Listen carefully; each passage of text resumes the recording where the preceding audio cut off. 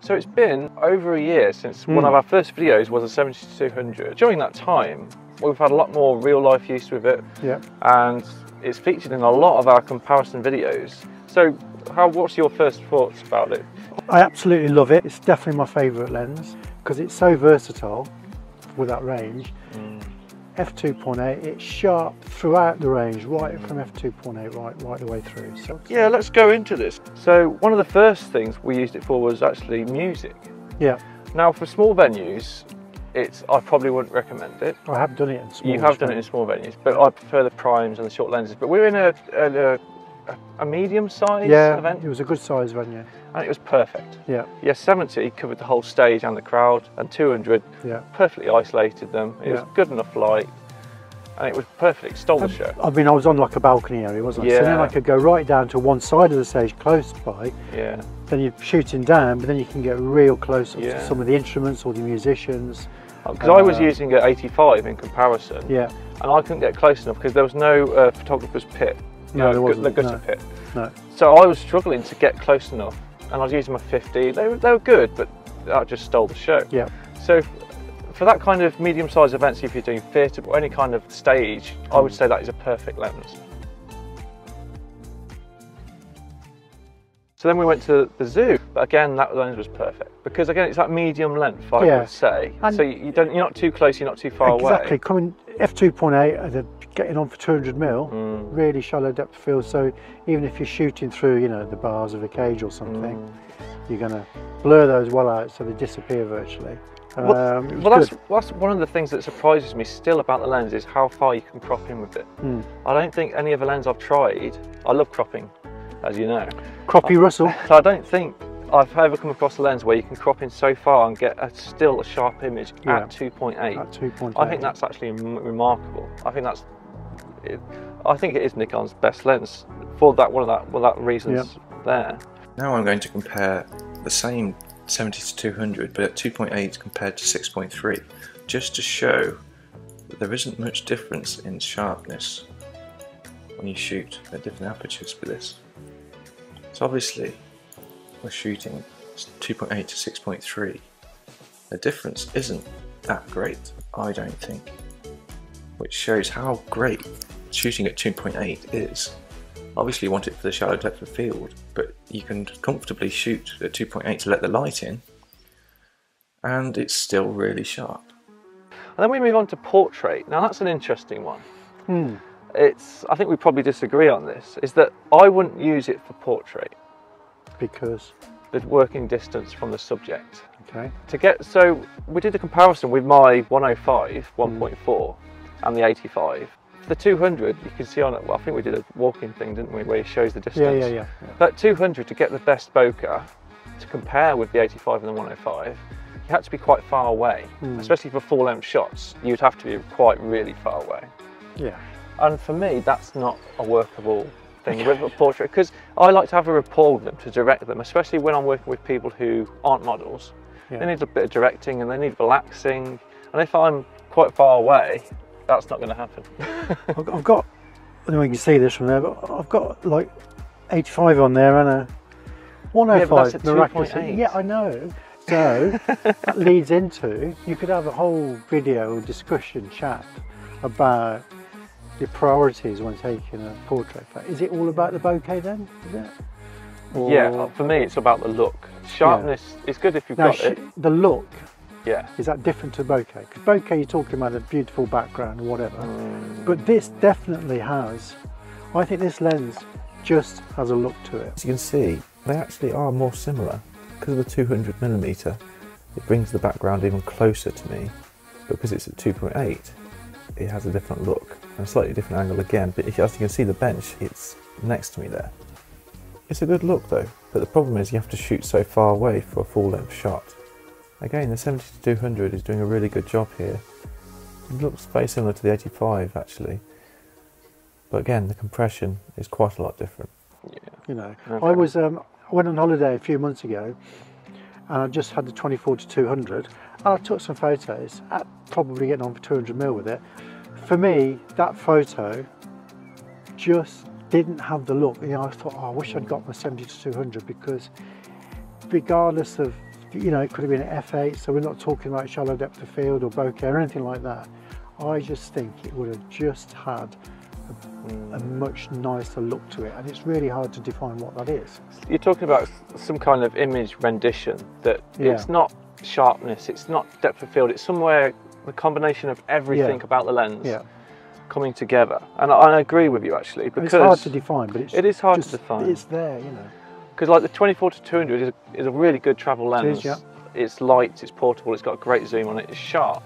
But it does lack something that the expensive glass doesn't have. Hmm. And like the 50 to 250, we did a video on that. It's a lovely little cheap Z portable lens Hmm. for wildlife. It's really handy, yeah, it is. sharp, It is. but it just doesn't have the expensive No. glass look. And I don't, I don't like Which is not expensive. surprising, is it? Because it's You pay need- for what you get, Yeah. you should. Yeah, yeah. So it, those two lenses are good in their own respect, but when you compare it to a 70-200 2.8, it lacks a lot, I think. Yeah, But yeah. then you have to think about those lenses are high aperture, you know, they're 6.3. Yeah, yeah, yeah, yeah. And that's a 2.8. So if Yeah. you're in a lower light situation, that's going to blow it out the Yeah, wall. it is, You yeah. can't compare them. No. Yeah, and we also compared it to my 200 to 500, Mm.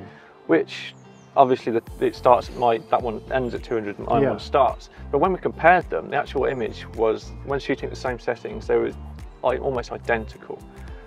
So that's good in itself.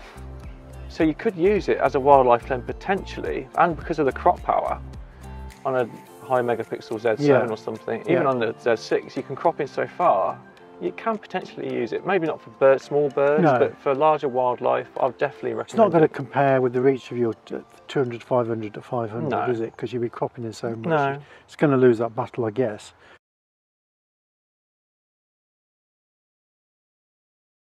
You did a wedding together. You were the second shooter. So Yep. a second shooter at a wedding stays at the distance. Yep.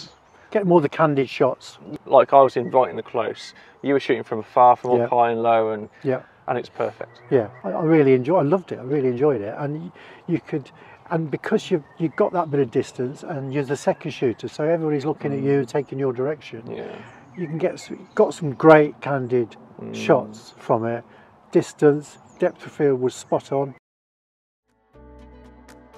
So then we come on to we've had a, doing a few videos about the teleconverter, and this is also Yeah. controversial. we created the controversy a bit as well. So we've got the 1.4 teleconverter, and our first video really we were really harsh on it, or realistic. Yeah, What, do you have any more thoughts about it since then? To be honest, because of that, I've hardly used it since. If you compare using the teleconverter and not using it, but but cropping in to mm. match that field of view, mm.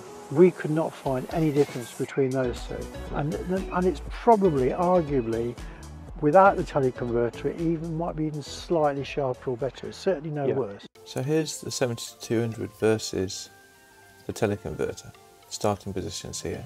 So you would see the teleconverter has a distinct advantage of being at 280 millimeter. But remember, the 70-200 could crop in 250% and still have a sharp image. But you can only crop in 200% with the teleconverter, and it equals the same image. I'd actually say they're almost identical here. So therefore the teleconverter doesn't give any further advantage in sharpness. You'd have So- to in lower light situations it would be worse because you can't use a 2.8.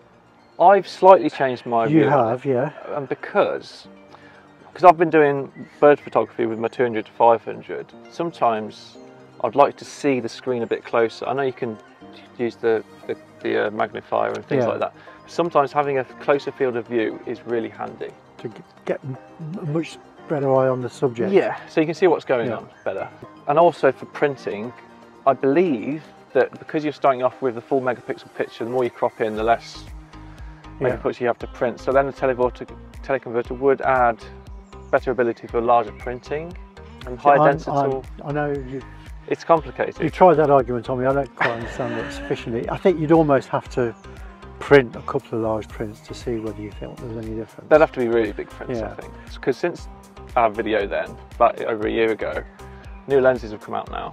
Yeah. So the 100 to 400, 5.6. So you're saying the 100 to 400 natively would be a lot sharper than using a It's an S lens because we just googled it then. so at 400 mil, that is going to be, I would say, absolutely, that's going to be better. Because if you put a two times teleconverter on this, this is going to, it's going to make this a 5.6. Mm. So that's the same, isn't it? Mm. That, the 400 mil native S lens, it's got to be better than a two times teleconverter on this at 200 mil, surely. But that's a, one of the best quality lenses. Yeah, I know, but so I would have thought, I mean, it'd be an interesting comparison, but I would have thought that if you go out and buy a 100 400 and it didn't beat this with a two times teleconverter on it, you'd You'd be- feel yeah, it's a true. bit sick, wouldn't you? Yeah. I just like the idea of having two different lenses in one, but obviously the teleconverters. But yeah, it, it's, it's something to think about. I, I mean, I suppose the argument possibly against that is that 100 400 is built to cover a, a, a much longer focal range Mm, than 70 exactly. to 200. So perhaps there's a little trade-off there. The next bit for me is that I don't have one. As much as I love that lens, Yeah, I don't have one.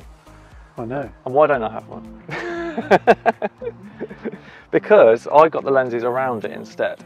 So I've got the 105 1.4 for portraits and other Yeah. things. And I love the depth of field, the 1.4. And then I've got the 200 to 500 for the wildlife and the birds. Hmm. And so And you've got the 85 at the bottom of it. So you need a would- big bag to carry those three lenses around you, wouldn't you? this is the thing. If you've got primes and you can move about, perfect. Yeah, In a lot of situations in life, you can't. no, That's where you need a variable zoom. yeah. Took some photos at a gig on Saturday night. Small to well, medium-sized venue in a way. You could stand at the back and get a whole range of different shots. Yeah. Or you could still go up close to the stage and use 70 mil, and it was wide enough to get some shots. If you'd have said, "Do you want to take the 105?" I said, "You're joking." Because that's big anyway, isn't it? It's wide, big diameter left. It is. You're not agreeing Zoom. with me. You won't agree with me. I'm not going to really know. I need a separate video to go through all this properly to really extract this controversial battle. Primes Oh. versus zooms. Yeah, Yeah. basically. But I sometimes wonder, do I or have I just started wondering now? this whole thing about shallow depth of field f1.8, is that really photographers thinking and looking at that?